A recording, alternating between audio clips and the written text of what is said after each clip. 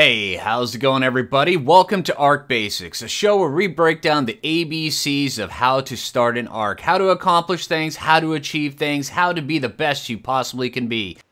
Ah, the Rhyniognatha. All right, this guy right here, I have put out a basics video of this guy. Uh, matter of fact, there's going to be a uh, link to it uh, down below, and also I'll probably see if I remember to put a pin up in it so where it just automatically links to this video.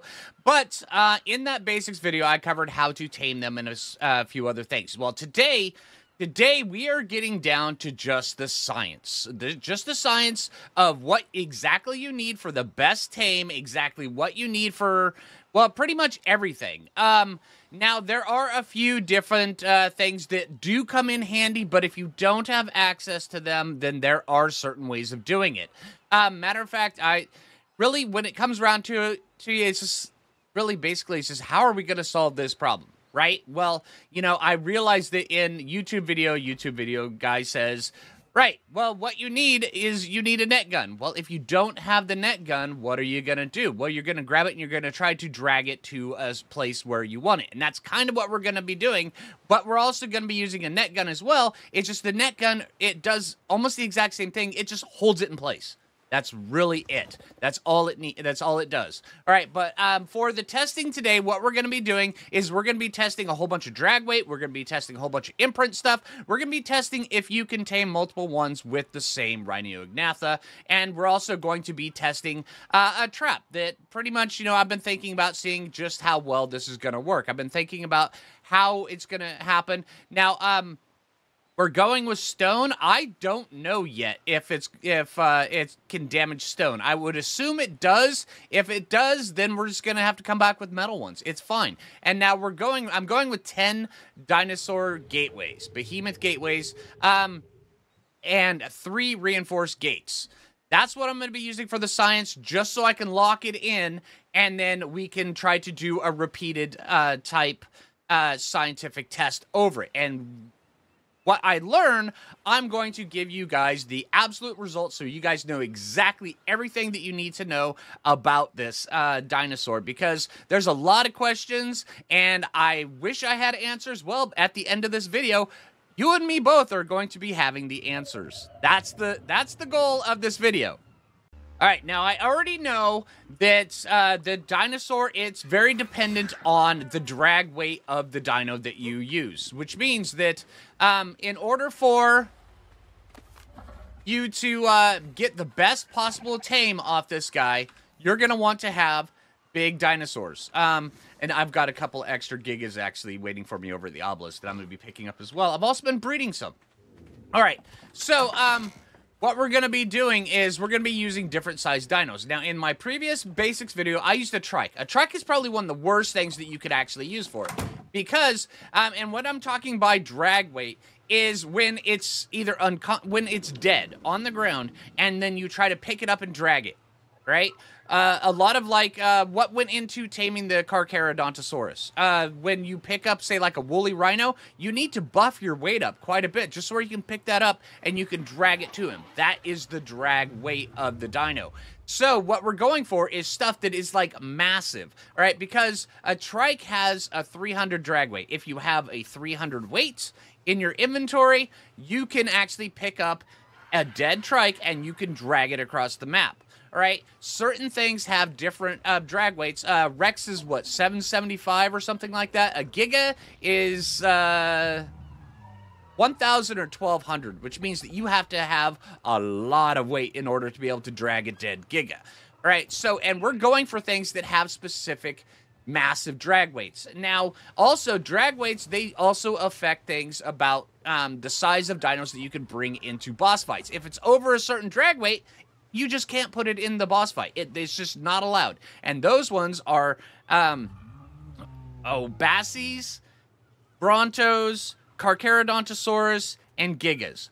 Those are the ones we're going for. And since we can't use a Bassie for this, or at least, I mean, I'm not sure I want to put myself through the torture of trying a Bassie, we're going to just be using Carcharodontosaurus, Bronto, or Giga. And I think I'm, for the top end one, I think I'm going to be using Giga. Now, my goal is to trap a Rhyniognatha, get it to impregnate a Rex, and then get it to impregnate a Giga, and then see the vast differences between the two. And now the idea is to get them homogenous where it's the same parent that's doing it. Wish me luck. All right, now the key thing you're probably asking yourself, or I mean, most everybody already knows, but if you if you've uh, haven't heard yet, they spawn in the swamps, mostly on Lost Islands and the island, which means that if you're looking for Rhyniognatha, you need to go to the swamp. So let's head over there and let's go see if we can actually find a couple because it takes a couple. Now you have to get the pheromone. The pheromone is the first thing you need, and it's gender specific. It has to come from a male Rhyniognatha, which means that you need to find the male and you need to kill it, which means that we've got pheromones that we've got to get, which means that I've got to get at least two, maybe even three uh, Rhyniognatha pheromones. All right, now the trap I'm going with is going to be a two-chamber trap.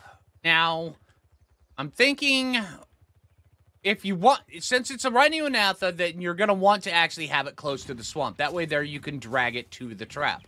Uh, because once the trap is placed, unless you're playing on a modded server, and we are not, which means that uh, you're going to have to have it close by so you can drag it, because taming it out in the open, it, while it is possible, it's not ideal. You want to do it in the traps where you can repeat the process. So let's see. Uh, let's go like this. All right, when I'm placing down the trap, I'm trying very close, very hard to make sure that we are the only things that can be able to get through it because we're going to be inside this trap. We want to get outside the trap and we want to do it in a way that is actually uh, safe for us. Now, I would imagine you could probably do this with about seven uh, traps just because. A mode, one stack.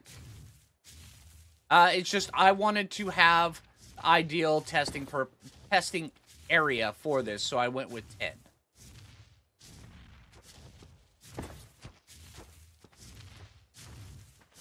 That should be good. One more.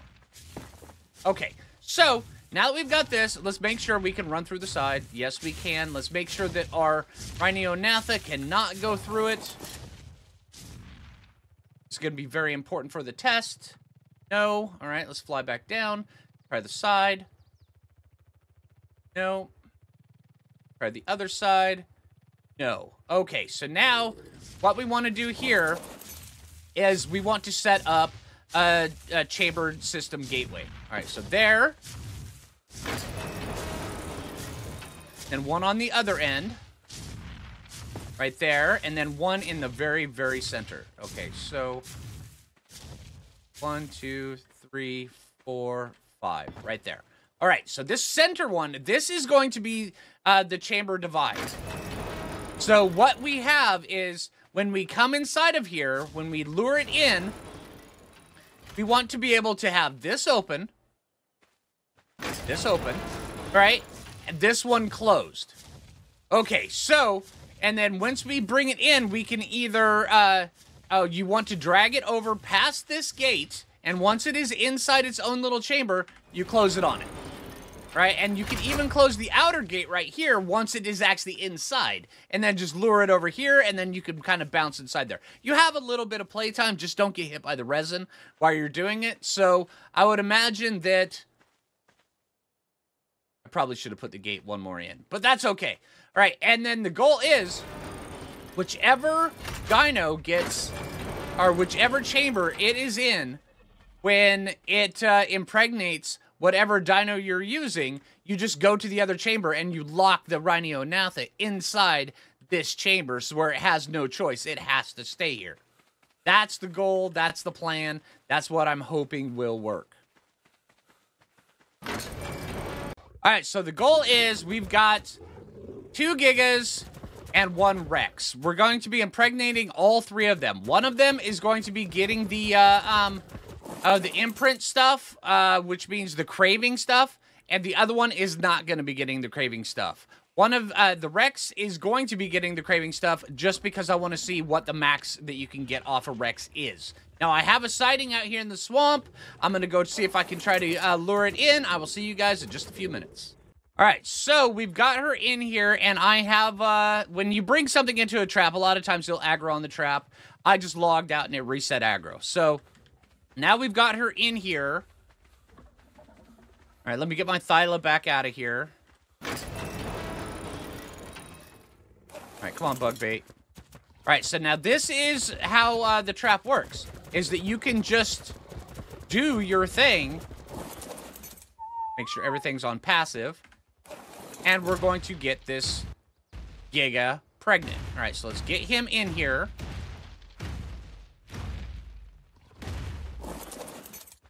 Close this.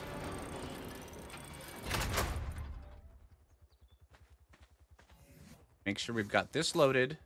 Now, if you don't have this, um, I if you don't have a net gun, I would recommend just making sure that you go off to the side and you kind of just shoot it until it's bloody and just pay very close attention.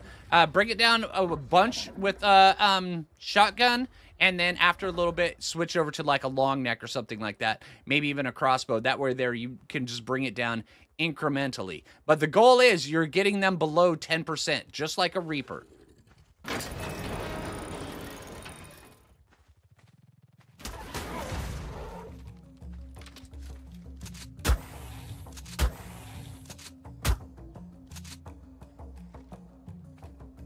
Paying very close attention.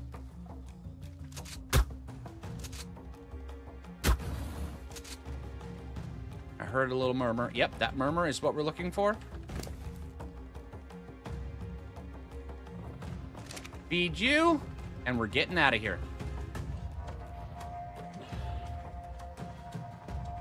Wait for her to get up. Then when she does, she should impregnate our Giga. And the goal is when um after she's done feeding that, that normally their AI just says, "Hey, just fly off into the sunset." We're not letting her fly off into the sunset. That's the purpose of this trap.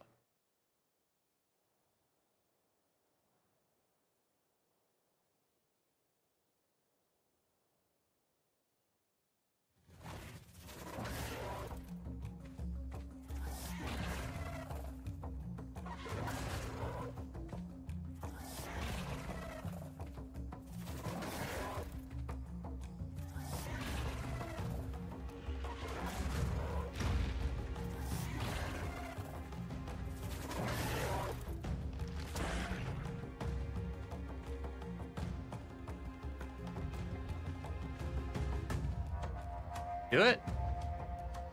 No, she didn't. I think she did it just then. Yep, she did. All right, so did she fly off? No. Okay, so now that she's right in that section, we close that section, leaving her trapped inside of there. We open this section.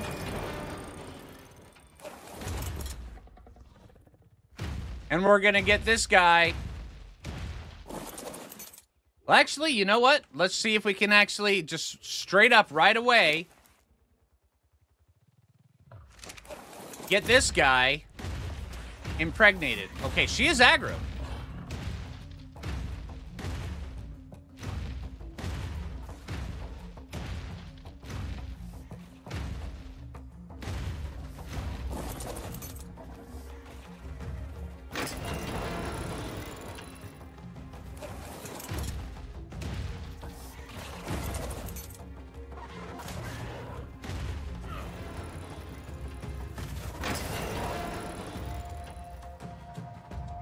You gonna impregnate? She's kind of stuck in the wall.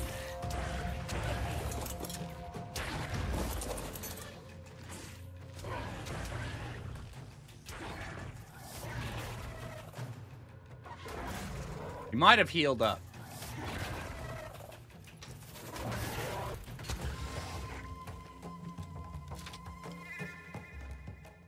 She did not heal up. Okay. We're going to see if they can actually get, uh, become buddy-buddy. I'm going to pay very close attention to this one. This one right here, I don't think I'm going to be uh, paying attention to is Brave. Actually, I think I will. We'll see how this one goes. Okay, now the list of stuff that they can crave is rather extensive, which is another reason why these guys are such endgame tames. She just does not want to be impregnating.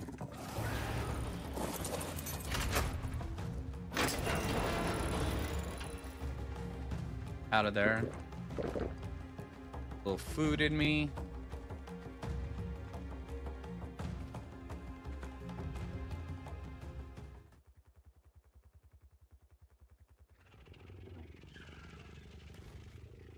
She might have to uh, heal up to max before uh, it goes. Either that or we may just have to go see if we can find a, a different one. I thought I did really well with finding a high level one to see if we could actually do it, but no. All right. Okay, so she did get this one, its cravings. And now she's aggroed on me. Okay, so keeping her in the trap, she will aggro on you, so be very careful of that.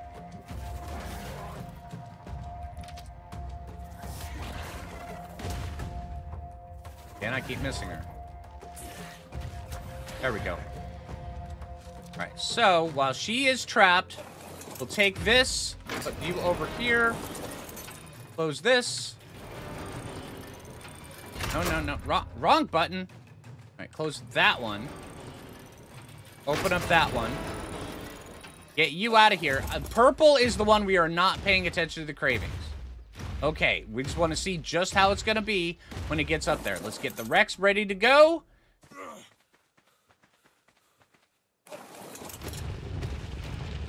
And we'll see just what kind of difference this is. And I'm going to get this done, and I will bring you guys back when we actually have a result on something.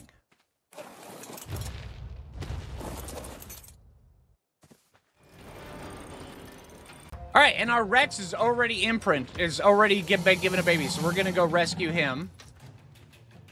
It doesn't look like I need to... Okay, she's flown off.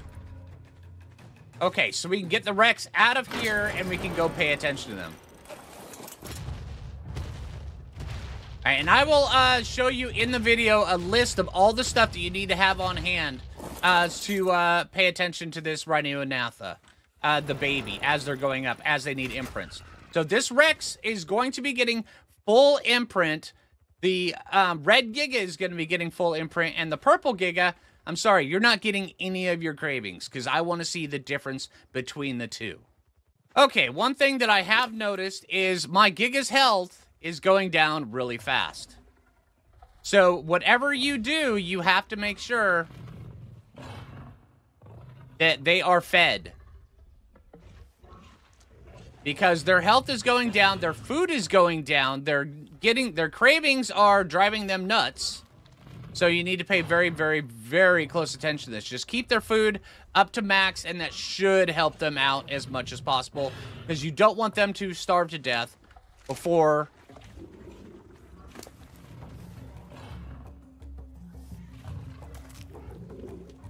No, I'm just gonna feed. a bunch of food in you guys.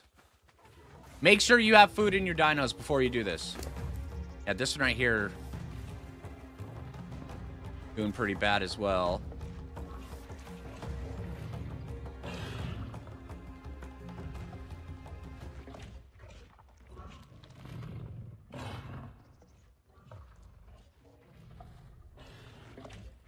How are you doing on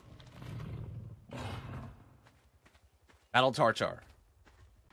I'm worried about the Gigas getting really low on health and then enraging. I'm going to... If it does happen, then I will bring you guys back. But they're getting really, really close to dying.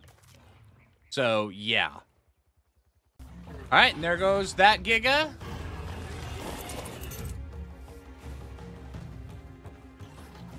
All right, so flying home, we have our three babies, but this is the stuff that you have to have with you whenever you are imprinting these guys because of the cravings. You need, it can be any of these things. It can be uh, absorbent substrate. It can be Achatina paste, and specifically Achatina paste, not cementing paste. Uh, ammonite bile. This one actually wanted quite a few of it. Uh, battle tartar. Uh, Calien soup. Uh, Carcharodontus eggs. Uh, elements.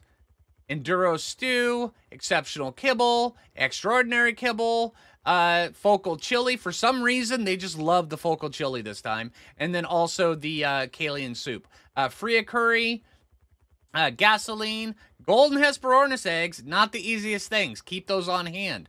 All right, Gigasaurus eggs, uh, Lazarus chowder, Quetzal eggs, uh, Shadow steak saute, uh, Superior kibble, uh, sweet veggie cakes, and woolly rhino horns. It can be any of those things for what it needs for its cravings. So if you're doing this, you got to keep those things on hand. Put them in a dino that you're taking out with you and just, or in your shoulder pet if you can, if you've got a big enough one that actually has enough weight allowance. All right, so here's the results, and we're going to look at these guys inside the cryopod really quick. Uh, let me see. Let's put that. Thank you.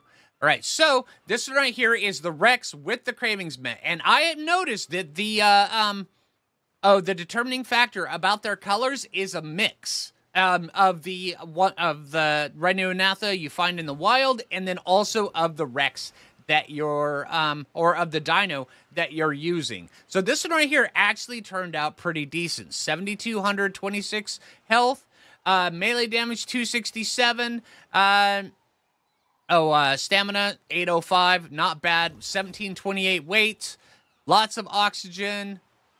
Yeah, that one is actually pretty decent. All right, now this is hold on the uh, juvenile with Rhinognatha with the uh, Giga, no cravings met, and no cravings tanked it across the board. That right there, it's it is just absolutely atrocious. But the colors that it got were a mix of the uh, the purple Giga that we used, and then also the uh, um, wild Rhinognatha. So that is actually pretty cool. Now this one right here is the um, Cravings Met one. This one right here should be the best stats, but for some weird reason, it is not. The Rex is the better stats. This one right, I mean, and I think that's just because we used a Giga. Gigas have really low base melee damage. Yeah, granted, the weight is higher.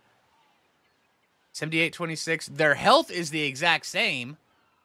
And their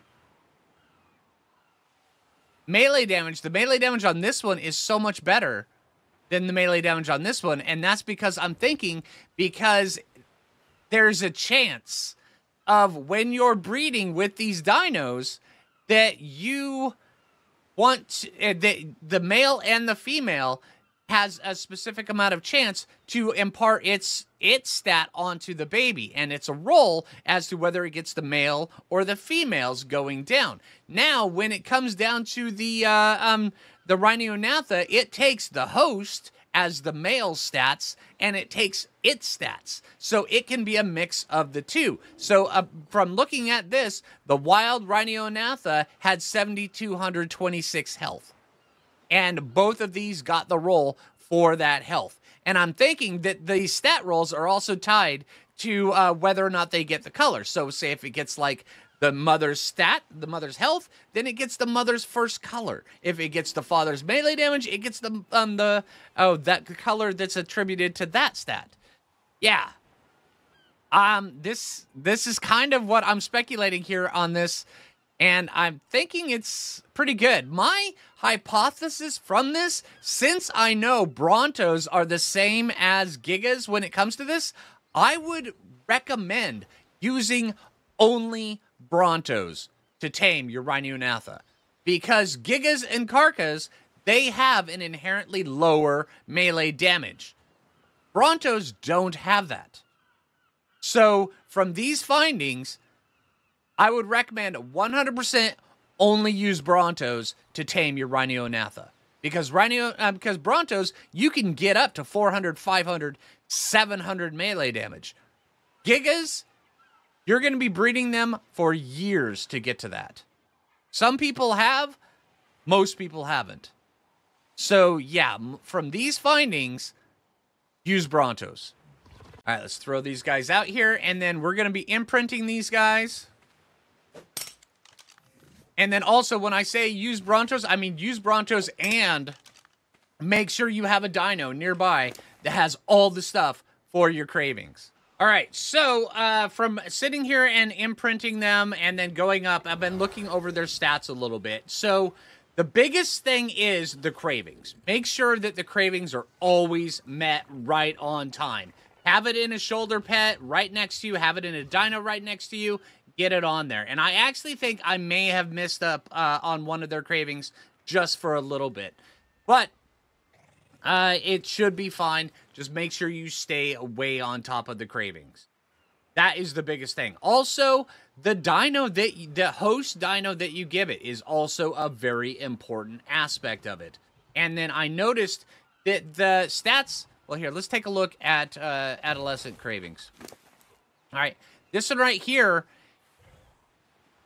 It only got a percentage of the stats that we got. So I would imagine that it probably starts off with a modifier, a base modifier, and each time you give it the uh, uh, cravings that it's required or that's asking for, it means that it gets more of a modifier added onto it as well, which means that the cravings get those cravings in there. Uh, the other ones, um, I would recommend, like I said before, don't use Gigas for this. Don't use Car um, for this because they inherently and naturally have a very low stamina stat and a very low melee stat. So that because they have such a huge modifier, they the low melee stat is kind of required. So I would recommend don't using though either of those two. Um, the one, like I said, that I would recommend using is a Bronto, which means that honestly, people are gonna be like, I need to get me more Brontos. But you know what? If it helps you get the best dino you possibly can get, hey, get those Brontos. All right. Okay, and here we are. This is the final results of all of their imprinting, everything as it goes forward. So the Rex with the cravings met, this is its final stats. Not bad, not amazing, although it will have a rather high modifier on the health and a decent modifier on the melee damage. This right here is the Giga, all cravings met. This is much worse. And by much worse, I mean it has a so much lower melee damage. Yeah, it has really high oxygen, but let's see, what's the weight on this one? Okay, so the weight on the Giga one is a little bit better. All right. And then we have this one right here. This one is just atrocious. That is without the cravings. So I do think I'm going to, one last little test, I'm going to go test my hypothesis, and we're going to go get a Bronto and do that I will see you guys in a, quite a while. All right, getting her back inside of there for the test. All right. All right, Bronto has been fed. Have at it. Oh, we need to get that thing down. All right, the Bronto is impregnated. Where is she? Okay, there she. is. Get the Bronto over in this side.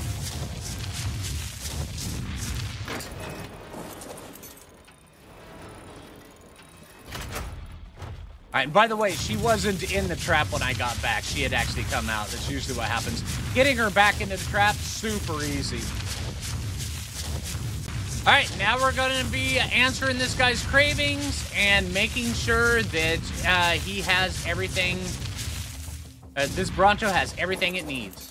And also, just FYI, the Bronto has 349.3 melee damage. That's what we're shooting for. And also, just because it worried me a lot last time, because their health goes down quite a bit, I also brought some veggie cake. All right, so the veggie cakes are helping out quite a bit. And so is the food. I may have to go get more measures. All right, and with the Cravings Dino next to you, getting what they need is super easy. Make sure that you have a dino on next to you that has all the stuff. All right, so this thing is uh, down to its last one. Its last one was a Carcha egg, but I don't think it would have survived without the uh, um, veggie cakes. I think it would have died in the middle of this. So you have to bring veggie cakes. And I would recommend at least 10. I only brought seven. It's already eaten all the way through all those. And it's still rather concerning.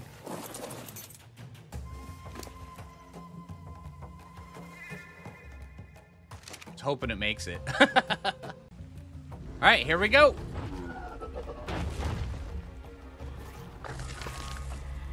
One forty-eight. Okay, that's not what I was expecting, but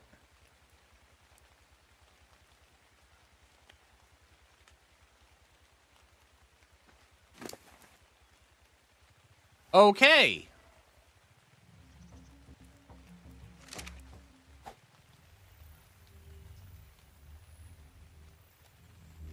So our best results were the Rex.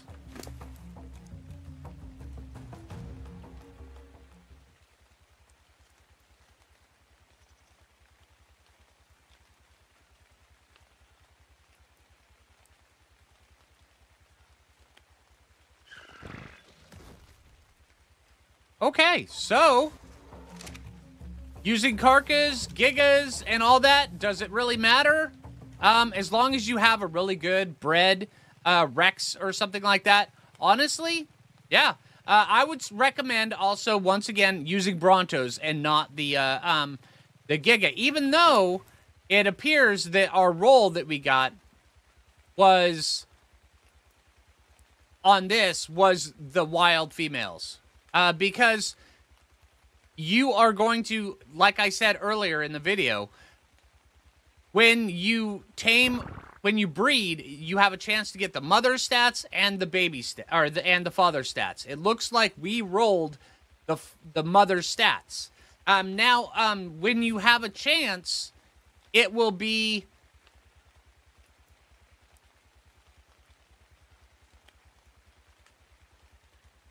Yeah, it will be determined by the male or the female, and I, normally I would just say it would be, you know, it's all based on the wild female stats, but the Rex's one proves that wrong. Because the Rex's one was completely different. And Ancestors, there are no mutations. Which means that this one right here got the Rex's melee damage. Yes. So, get something that has high melee damage, high health.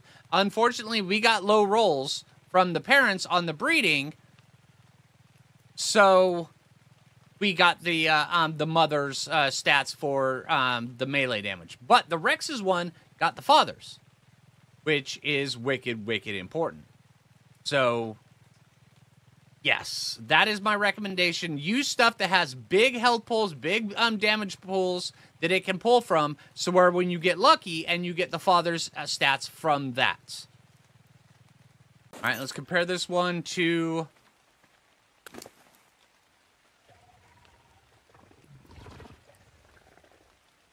Yeah, they're identical. I mean, this one right here is imprinted, but yeah, they're identical. So yes, my recommendation is don't use Carchas and Gigas for imprinting these guys. Uh, honestly, a Rex is better. Um, well, a Rex with high stats is better. Uh, a Rex that you've been imprinting. If you've been uh, raising up Rexes for a boss army, use one of those because you're going to have like 15 generations. Or if you uh, uh want to skip some of that, go for a Bronto. It's actually a little bit easier. But if you go for a Bronto, use uh, Veggie Cakes because the Bronto, I mean, mine would have died halfway through that uh, impregnation. So either use Rexes that you're raising for uh, boss armies or use Brontos. Don't use uh, Gigas or Carchas. Honestly, I think uh, those, because of their low stat pool, um, their low uh, health and stamina stat, means that it's actually going to be hindering you. So, all right, so that's what my science has shown. You guys have seen everything I've seen. What's your hypothesis? I'm pretty sure that uh, yeah, go with something that has a high stat pool and then that should work so hey i hope the video helps you out i hope uh, um you enjoy the video if you like it make sure you give that um make sure you give me a thumbs up if you're new around here subscribe and until next time this is Phlinger and as the sun is going down take it easy everybody